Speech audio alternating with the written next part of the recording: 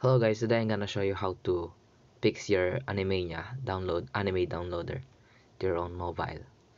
So if you couldn't download then you can see this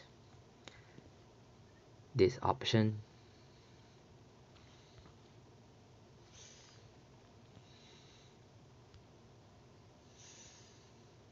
invalid path in oh invalid download path if you can repair it automatically. It's still invalid download path so all you have to do is go back to your settings search for the app open Animania and then permission. You have to open the storage permission to your Animania so after that you open again Animania and then repair automatically. Then you press download. And there it's downloading.